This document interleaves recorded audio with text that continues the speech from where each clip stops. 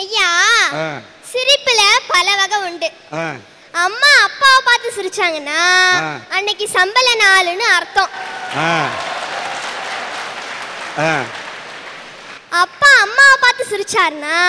அவர் டாஸ்மாக் கடைக்கு போயிட்டு வந்திருக்காருன்னு அர்த்தம். ஒரு போலீஸ்கார் ஒரு கடைக்கு முன்னாடி நின்று நமட்டு சிரிப்பு சிரிச்சா மாமூல் கேக்குறாருன்னு அர்த்தம். டாஸ்மார்க்குன்னு அடிச்சு அடிச்சது டாஸ்மார்க் நீ வாங்கினது பாஸ்மார்க். எடுத்த எடுப்புல பாஸ்மார்க் வாங்குற. ஆ சரி மாமூலா தான் பேச ஆரம்பிப்பேன்னு பார்த்தா மாமூலை பத்தி பேசுற. ஒரு அரசியல்வாதி மக்களை பார்த்து திடீர்னு சிரிச்சா எலெக்ஷன் வரப்போகுதுன்னு அர்த்தம். இப்படி ஒவ்வொரு சிரிப்புக்கும் ஒவ்வொரு அர்த்தம். ஆனா இனிமையான உன்னதமான புனிதமான சிரிப்பு தான் எங்க குழந்தைகளுடைய சிரிப்பு. ஐயா அண்ணா சொன்னாரு எதிர்கால இந்தியா வகுப்பறையில் இருக்கு வகுப்பறையில் இருக்குன்னு. ஆனா இன்னைக்கு எங்க நிலைமை எப்படி தெரியுங்களா இருக்கு?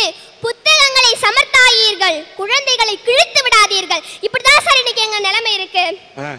எடுத்துக்காட்டா எங்க கிளாஸ் ரூமே எடுத்துக்கோமே. எங்க கிளாஸ் ரூம்ல ஃபர்ஸ்ட் பீரியடே ஹிஸ்டரி பீரியட் சார். அந்த சார் ஒரு பிளேடு பிளேடுலயும் பிளேடு அப்படியாப்பட்ட பிளேடு அந்த வாத்தியார்ட்ட இருந்து அடுத்த கிளாஸ் போயிட்டு இல்ல போயிட்டு ஏன்னா அவர் பிளேடுன்னு சொல்ற நீ மாட்டுக்கு அவர் கோச்சுப்பாரு. ஒரு நாள் இப்படிதான் சார் எங்க கிளாஸ் ரூமுக்குள்ள வந்தாரு வந்து எங்க கிளாஸ் ரூம்ல இருந்து ஒரு பையனை எழுப்பி புத்தகத்தை கொடுத்து படிடான்னாரு. அதுல என்ன எழுதிருந்துச்சுன்னு பாத்தீங்கன்னா ஆரியர்கள் ஆடு மாடுகளுடன் இந்தியாவிற்குள் வந்தனர் அப்படின்னு எழுதிருந்துச்சு சார். அந்த பையன் படிச்சான் ஆசிரியர்கள் ஆடு மாடுகளுடன் இந்தியாவிற்குள் வந்தனர் அப்படின்னு படிச்சான் சார். அதாவது ஆரியர்கள் என்பதை அவன் ஆசிரியர்கள் அப்படின்னு அடிக்கிறான். ஓகே உடனே எங்க வாத்தியார் சொன்னாரு டேய் நல்லா படி அப்படின்னு சொன்னாரு. அந்த பையன் படிச்சான் ஆசிரியர்கள் ஆடு மாடுகளுடன் இந்தியாவிற்குள் வந்தனர் அப்படின்னு படிச்சான் சார். உடனே எங்க வாத்தியாருக்கு வந்துருச்சு ஏய் நல்லா படின்றல நல்லா படி அப்படின்னாரு சார். உடனே அந்த பையன் மறுபடியும் அதே தான் படிச்சான். எங்க வா- எங்க வாத்தியாருக்கு ரொம்ப கோவம் வந்துருச்சு. வந்து கோவம் வந்தனே ஏய் எடி தோலையெல்லாம் உரிச்சுப்படும் உரிச்சு அது என்னடா எழுதிருக்கு ஆரியர்கள் ஆடு மாடுகளுடன் இந்தியாவிற்குள் வந்தனர். அப்படின்னு எழுதியிருக்கு. நீ என்னடா ஆசிரியர்கள் ஆசிரியர்கள்னு சொல்றேன்னு அந்த வாத்தியார் கேட்டார் சார் உடனே அந்த பையன் சொன்னா சார் என்னைக்கு தான் நீங்க எங்களை மாதிரி குழந்தைங்கள குழந்தைங்களா மதிச்சிருக்கீங்க? எப்ப பார்த்தாலும் நாய பேய குரங்க குட்டிய சனியன இப்படி திட்டதால் தான் சார் நான் சொல்றேன். ஆசிரியர்கள் ஆடு மாடுகளுடன் இந்தியாவிற்குள் வந்தனர். அது மட்டும் இல்ல ஏதாவது ஒரு பையன் படிக்கலைன்னா உடனே மாடு மேய்க்க போ. ஆமா சார் அப்படின்லாம் சொல்றாங்க.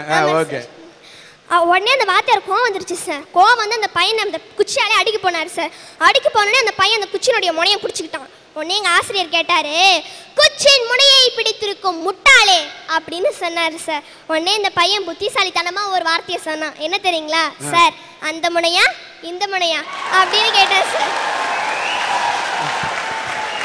இன்னைக்கு இப்படிதான் சார் இருக்கு எங்க நிலைமை. சரி படிக்கிற குழந்தைங்களுடைய நிலைமை தான் இப்படி இருக்குன்னு படிக்காத ஏழை குழந்தைகளுக்கு போனா அவங்களுடைய குடும்பம் வாய் விட்டே சொல்ல முடியல சார். என்ன தெரியுங்க நடக்குது? அவங்க பெத்தவங்க அந்த குழந்தைய பெத்தெடுத்து ஏழ்மையுடைய காரணமாக அந்த குழந்தைங்கள சின்ன வயசுலேயே பொதி சுமக்க விடுறாங்க. இப்படிதான் ஒரு பையன் சொன்னான் அப்பா நீ என்ன பண்றன்னு நான் கேட்டேன். அதுக்கு அந்த பையன் சொல்றான் நான் பீடி சுத்துறேன். நான் பீடி சுத்துறேன். ஏன்னா எங்க பெத்தவங்க ஊரை சுத்துறதால நான் பீடி சுத்துறேன்னு சொல்றேன் சார். இப்படி பல கொடுமைகள் எங்களுக்கு நேர்ந்துட்டு வந்தாலும் இந்த காலத்துல ஒரு கவிஞன் எங்களை பத்தியும் எங்களை புகழ பத்தியும் அழகா ஒரு பாடல் எழுதியிருக்காரு. என்னன்னு தெரியுங்களா. அழகு குட்டி செல்லம் உன்னை அள்ளி தூக்கும் போது உன் பிஞ்சு விரல்கள் மோதி நான் நெஞ்சம் உடைந்து போனேன். ஆலை கடத்தி போகும் உன் கண்ணு குழியில் சிரிப்பே விரும்பி மாட்டிக்கொண்டே நான் திரும்பி போக மாட்டேன். அம்மனே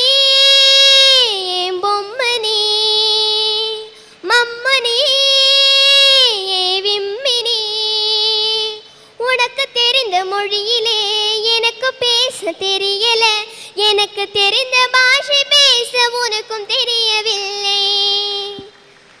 அப்படியேப்பட்ட. அருமையா பண்ணு. Thank you sir. இப்படி வெள்ள செழிப்பும் கள்ள கபடமற்ற மனசும் பெற்ற குழந்தைகள் தாயா எல்லா நாளோட இனிய நாள். ஆமாம் என்னமோ பொதுவாக நினைக்கிறோம் ஏதோ ஆண் பெண் இருபாலார் தான் இருக்காங்கன்னு. இன்னைக்கு இருக்கிற மக்கள் எத்தனை வகையில் இருக்காங்க தெரியுங்களா? அறிவு பேரறிவு நுண்ணறிவு மெய்யறிவு அறிவில் சிறந்தவன் அறிவில் தேர்ச்சி பெற்றவன் அறிவில் வளர்ச்சியுடையவன் சித்தர்கள் ஞானிகள் யோகிகள் மடாதிபதிகள் முனிஞான வீரர்கள் மற்றும் ஆராய்ச்சியாளர்கள் நல்லவன் கெட்டவன் அயோக்கிய பையன் பஞ்சமா பாதகம் துரோக செயல் பண்ணுறவன் மதுப்பித்தன் மாதுப்பித்தன் சூதுப்பித்தன் கொலை களவு கல் காமம் பொய் பேசுகிறவன் அம்மா அப்பாவை அனாதிலத்தில் விடுறவன் அம்மா அப்பாவை அம்போன்னு விட்டுட்டு போகிறவன் பொண்டாட்டி பேச்சு கேட்டு அவ பின்னாடியே போகிறவன் சாமியே கும்பிடாதவன் கொணசிரிப்பு சிரிக்கிறவன் அல்லப்பார் பார்க்குறவன் மேலே பார்க்குறவன் கீழே பார்க்குறவன் தரித்திரம் பிடிச்சவன் நெகம் வெட்டாதவன் பீடை பிடிச்சவன் தெல்லவாரி தெருப்பொறிக்கு மொல்ல மாதிரி முடிச்சவைக்கு உருட்டு பெரட்டு திருட்டு. உத்தமி பெண் பத்தினி பெண் குலமகள் குடும்பஸ்திரீ ஒழுக்கமுடைய பெண்கள் நல்ல பெண்கள் குடும்ப பாங்கான பெண்கள் சாதனை புரியிருக்கின்ற சான்றோர்களுடைய புதல்விகள் பாரதி கண்ட புதுமை பெண்கள் மற்றும் ஓடுகாலி மலடி மூதேவி அடங்காப்பிடாரி வாயாடி வெறிஞ்சிருக்கு. இன்னொரு அறுபது பேர் இருக்காங்க. அதை சொன்னால் காதெல்லாம் ரொம்ப வலிச்சிருங்க. அப்படி இருக்காங்க. நடு- ஆனால் ஐயா அவர்களே இத்தனை வகையான மனிதர்கள் இருக்கிற இந்த சமுதாயத்தில் அந்த மக்களெல்லாம் ஒவ்வொரு நாளும் இனிமையான நாளுன்னு நினைக்கிறாங்க. ஆனால் என் மனைவிங்க இன்னைக்கு காலையில் நேற்றுக்கு காலையில் நான் கூட அடுக்குமொழி பேசி பார்த்துருக்கிறேன். நீ அடுக்கிக்கிட்டே போற முடியும் இன்னைக்கு தான் அடுக்கிறேன் வாழ்த்துக்கள். ஐயா நேற்று காலையில் மனைவி என்னை கூப்பிட்டா மாமா இங்கே வாங்க பைப்பில் தண்ணி வந்து நாலு நாள் ஆச்சுன்னா. அதுக்கு நான் என்னம்மா செய்யணும்னு? மாமா அந்த பெரிய குழாய் உடஞ்சி போச்சாமா? அதனால் அரசாங்க லாரியில் தண்ணி கொண்டு வந்து விடுறாங்க போய் பிடிச்சிட்டு வாங்கன்னா நானும் மனைவி சொன்னான்னு ஒரு குடத்தை கொண்டு போய் எம்டி குடத்தோடு நின்றுட்டு இருந்தேன். நல்ல தண்ணி லாரி வந்து அப்படி திரும்பி நின்று பைப்பை ஓப்பன் பண்ணி விட்டாம் பாருங்க. ஒரே ஆம்பளை பொம்பளை கூட்டம். முட்டி மோதி பிடிக்கிறாங்க. நானும் என் மனைவி சொன்னாங்கங்கிற நம்பிக்கையில் உள்ள நுழைஞ்சு பிடிச்சனுங்க ஐயா. வெளியே வர்றேன் என் குடத்தையும் காணும் என் இடுப்பு வேட்டியும் காணும். பேந்த பேந்த முடிச்சுட்டு போய் என் மனைவி முன்னாடி நின்ன என் மனைவி சனின்னு நீ எல்லாம் எனக்கு வந்து வாழ்க்கப்பட்டு தொலைஞ்சன்னு அப்படி புடவை எடுத்து இடுப்புல சொருவினேன் என் மனைவி அந்த நல்ல தண்ணி லாரி நோக்கி ஓடுனாங்க. என்ன குடம் கூட இல்லாமல் ஓடுறாளேன்னு நானும் பின்னாடியே ஓடினேன். போன வேகத்தில் மனைவி என்ன செஞ்சா தெரியுங்களா? மழை மழை மழைன்னு அந்த நல்ல தண்ணி லாரி கூட்டத்துக்குள்ள நுழைஞ்சு ரெண்டு குடம் தண்ணீர் பரபரபரன்னு இது மாதிரி ஆறு வேட்டி உருவிட்டு வந்தாங்க. அப்படி உருவன வேட்டி இருபத்தி ரெண்டு நீளம் போட்டு காஞ்சிட்டு இருங்க பாருங்க என் மனைவிக்கு ரெண்டு குடம் தண்ணீர் இனிமையான நாள். எனக்கு இருபத்தி ரெண்டு வேட்டி கிடைச்சதுங்க. அதைத்தானுங்க நான் இனிமையான நாளுன்னு சொல்றேன். ஐயா அவர்களே ஆனா பாருங்க என் மனைவி என்னை பார்த்து ஒரு பாட்டு பாடுவா. ஆடியில் சேதி சொல்லி அவனியில் தேதி வச்சு சேதி சொன்ன மன்ன வருதான் இப்படியே பாடிட்டு கடைசியில் ஒரு வரி சொல்லுவா. ராசாவே நீ வேணும் ஏழு ஏழு ஜென்மந்தானா. கா முந்தா நாள் கோயிலுக்கு கூட்டிகிட்டு போனேங்க. அச்சகர் திருநீரு சந்தனம் குங்குமம் கொடுத்தார். நான் அழகாக எடுத்து நெத்தியில் பூசிட்டேன். என் மனைவி திருநீரை மட்டும் பூசணுவா குங்குமத்தை எடுத்து இந்த தங்கத்தாளான ஆம்பளை கட்டியிருக்கான் பார் தாலி அதில் வச்சு அமுக்குற ஐயா. நான் எதுக்குன்னு கேட்டேன். என் மனைவி சொன்னா இற்றைக்கும் ஏழு ஏழு பிறவிக்கும் இந்த இழிச்சவாயனே புருஷனாக வரணுங்கிறக்கா ராசாவே நீ வேணும் ஏழு ஏழு ஜென்மந்தா. ஆனால் இன்னைக்கு செய்கிற ரூட்டி கொஞ்சம் நஞ்சம் இல்லைங்க. ஒரு மனிதன் எப்படி இருக்கணுங்கிறதுக்கு ஒரு செய்தி சொல்கிறேன் பாருங்க. ஜேபி சந்திரபாபுன்னு ஒரு நடிகருங்க. ஜேபி சந்திரபாபு என்ற நடிகருக்கு காலையில் கல்யாணம் இரவு ஒன்பது மணிக்கு அந்த புது பெண் வெள்ளிச்சம்புல வெது வெது வெதுன்னு பசும்பால் கொண்டு போய் அப்படியே அத்தான் என்று கொடுக்க வேண்டியவ அண்ணான்னு கூப்பிட்டாங்க. ஜேபி சந்திரபாபு கேட்டான் என்னம்மா முதல் இரவுல கட்டின புருஷனை அண்ணான்னு கூப்பிடுறியான்னு கேட்டபோது அந்த பெண் சொன்னா நான் ஐந்து வருடமாக ஒரு வாலிபனை காதலிச்சேன் மனசார விரும்பினேன் எங்க அப்பா பிரிச்சு பெரிய நடிகர்னு உன் தலையில கட்டிட்டாருன்னு சொன்னபோது சந்திரபாபு அந்த கைப்படாத ரோஜாவை அந்த பெண் யாரை விரும்பினாலோ அந்த காதலனிடமே ஒப்படைச்சிட்டு வந்தார். அவங்க அப்பா சொன்னார் கேட்டார் மகனே சந்திரபாபு டேய் நீ மிகப்பெரிய நடிகர்ரா. ஆனால் எல்லாத்தையும் தானம் கொடுக்கலாம். ஆனால் மனைவியவே தானம் கொடுக்குறியாடா? அப்படின்னு சொன்ன பொழுது தந்தை முன்னாடி என்ன பண்ணார் தெரியுங்களா? அன்னையின் கையில் ஆடுவதின்பம் கண்ணியின் மடியில் சாய்வதில் இன்பம். தன்னை உணர்ந்தால் உண்மையில் இன்பம். தன்னலம் மறந்தால் பெரும் பேரின்பம். பெரும் பேரின்பம் அவர் தான் சொல்லுவார் ஒவ்வொரு நாளும் இது மாதிரி மனிதன் நடந்து கொண்டா தினமும் இனிமையான நாளுன்னு சொன்னார். ஆனால் ஐயா அவர்களே ஒரு புதுமையான செய்தியை சொல்றேன். என்னுடைய திருமணம் எப்படி நடந்தது தெரியுங்களா? உலகத்திலேயே ஒரு சிறந்த திருமணங்க. ஒரு திருமணத்துக்கு மொய் வைக்க போனேன். ஆனால் வே ஒரு உண்மையான ஒரு ஒரு ஒரு புது ட்ரெஸ் கூட இல்லை. அழுக்கு வேட்டி அழுக்கு சட்டை தான். அதோடு போன போது அந்த மாப்பிள்ளை அந்த இரவோடு இரவு அவன் ஏதோ ஒரு சூழ்நிலையில் ஓடிட்டான். ஆனால் காலையில் அந்த பெண் மணப்பெண் கண் கலங்கி நின்னான் அவங்க அப்பா கிட்ட போய் நான் கேட்டேன் நான் திருமணம் செஞ்சுக்கிறேன்னு. அப்படி புதுமையான திருமணம் செஞ்சவன் தான் இந்த வானொலி தங்கவேல். அந்த இரவுங்க முதல் இரவு. என் மனைவி அப்படியே அந்த முதல் இரவுல அழுதுகிட்டு இருந்தா நான் என்ன பாடம் தெரியுங்களா? ஆகாய வீதியில் அழகான வெண்ணிலா அலங்கார தாரகையோடு அசைந்தூஞ்சல்லாடுதே ஆனந்தம் தேடுதே. ஆ ஓ என்ற அந்த இரவு முதல் ஐயா அவர்களே இன்று இருக்கக்கூடிய இந்த இரவு வரையிலும் ஒவ்வொரு நாளும் என் மனைவியோட இனிமையான நாளா தான் நான் கொண்டாடிட்டு வர்றேன். வாழ்க. ஆனா ஐயா ஒரு புதுமையான செய்தியை இந்த சேலம் வாழ் மக்களுக்கு சொல்லி நான் விடைபெறேன். பாருங்க உலகத்திலேயே உயர்ந்த நதியான நயாகாரா நதி அமெரிக்காவில் இருக்கு. ஆனா அந்த என்ட்ரன்ஸ் நுழைவாசல்ல உலகமெங்கும் இருக்கக்கூடிய மூவாயிரத்தி முன்னூத்தி முப்பத்தொன்பது மொழியில் எழுதல. தமிழ் மொழியில தான் அந்த நயாகாரா நதியினுடைய என்ட்ரன்ஸ் நுழைவாசல்ல அழகா ஒரு கல்வெட்டில் வருக வணக்கம்னு எழுதியிருக்கான். ஏன் தெரியுங்களா? இங்கிருந்து தமிழ்நாட்டு அறிஞர் ஒருத்தர் அங்க போனார். வெள்ளக்காரர் ஒருத்தர் அங்க நின்னார். ஐயா இங்க வாங்க. உலகத்திலேயே உயர்ந்த நதியான நயாகரா நதிக்கு முன்னாடி உங்கள் எழுத்தில் இருபத்தி ஆறு ஆங்கில எழுத்துல வெல்கம்னு எழுதியிருக்கலாம். ஏன் எங்க தமிழ் மொழியில வருக வணக்கம்னு எழுதியிருக்கீங்கன்னு சொன்னபோது அந்த வெள்ளக்காரர் சொன்னார் ஐயா தமிழறிஞரே உலகத்திலேயே உயர்ந்த நதியான நயாகாரா நதி எங்கள் நாட்டிலே உள்ளது. உலகத்திலேயே உயர்ந்த மொழியான தமிழ் மொழி உங்கள் நாட்டிலே உள்ளது.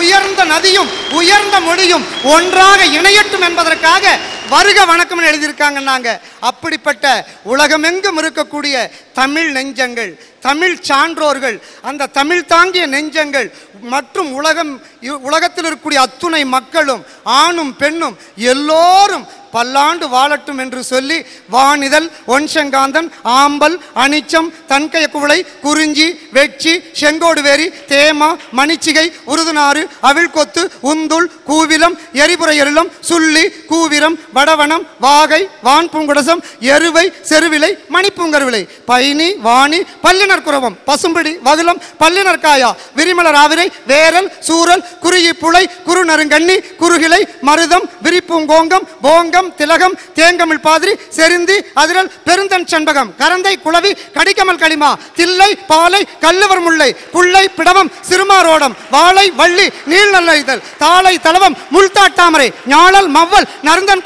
கோகிடி சேடல் செம்மல் சிறு செங்குரளி கோடல் கைதை கொங்குமுதர் நறுவாலை காஞ்சி மணிக்குலைக்கல் நெய்தர் பாங்கர் மராம் பல்பூம் பிண்டி வஞ்சி பித்திகம் சிந்துவாரம் தும்பை துளாகை சுடற்பூந்தோன்றி நந்தி நரவம் நரும்புன்னகம் பாரம் வீரம் பைங்குறுங்கத்தி ஆரம் கால்வை கடியிரும்புன்னை நரந்தம் நாகம் நல்லூர் நாரி மாயிருங்குருந்தும் வேங்கையும் இந்த தொண்ணூத்தி ஒன்பது மலர்களோடு என் உள்ளத்திலே இருந்து எழக்கூடிய அன்பு என்ற அந்த பூவையும் சேர்த்து நூறு பூக்களோடு இந்த அரட்டை அரங்க ரசிகர்களும் உலகெங்கும் இருக்கக்கூடிய தமிழ் மக்கள் பல்லாண்டு வாழட்டும் என்று சொல்லி எனது பணிவான கனிவான வணக்க மலர்களை காணிக்கை மலர்களாக்கி சமர்ப்பித்து நீங்கள் பல்லாண்டு வாழ வேண்டும் என்று சொல்லி இந்த அறிவின் பெட்டகம் அறிவின் களஞ்சியம் அறிவுக்கோர் துருவ நட்சத்திரம் அறிவுக்கோர் உலக கஜானாவின் அணைக்கட்டு பல்லாண்டு வாழட்டும் என்று சொல்லி என்னை எதிர்த்து பேசினாலும் இந்த பெண்ணுக்கு சில நாட்களில் திருமணம் ஆகட்டும் என்று வாழ்த்து. உங்களிடமிருந்து விடைபெறுகிறேன் வாய்ப்புக்கு நன்றி நன்றி நன்றி நன்றி. வாழ்த்துக்கள். இந்த கனிமொழி கவிமொழி கண்டல் மொழி காவிய மொழி தென்மொழி தேன்மொழி தெவிட்டாமொழி தேயாமொழி என்னுடைய சங்கத்தமிழ் தங்கத்தமிழ் கொண்டு சிங்கத்தமிழனாக உரையாற்றிய தங்கவேலே நீ வாழ்க வாழ்க. அஸ்வினி பரணி கிருத்திகை ரோகிணி மிருகத்திற்கும் திருவாதிரை புனர்பூசம் பூசம் மாயில்யம் மகம் உத்திரம் அத்தம் சித்திரை சுவாதி விசாகம் அனுஷம் கேட்டை மூலம் பூராடம் உத்திராடம் திருவோணம் அவிட்டம் சதயம் பூரட்டாதி உத்திரட்டாதி ரேவதி. என்று அத்தனை இருபத்தி ஏழு நட்சத்திரங்களையும் பாராயணம் செய்து மேஷம் ரிஷபம் மிதுனம் கடகம் சிம்மம் கன்னி துலாம் விருச்சிகம் தனுசு மகரம் கும்பம் மீனம் என்று பனிரெண்டு ராசிகளையும் கத்தறிந்து பாரப்பா பகலவனும் தனிசை பாம்பு ரெண்டும் பகருகின்ற இக்கோள்கள் ஆறில் நிற்க கூறப்பா குமரனவனை கண்டால் குமலகத்தில் புலி கண்ட பசு போல் ஆவர் என்று என்னுடைய புலிப்பாணி பாடினானே அத்தனை கோள்களை பற்றி படித்த நான் என்னுடைய தமிழ். என்னுடைய செவ்வாயை என்னுடைய தமிழ்த்தாயை போற்றிய உம்முடைய இதழ் வாழ்க என்று இந்த ரோஜா இதழ் கொண்டு வாழ்த்துகிறேன்.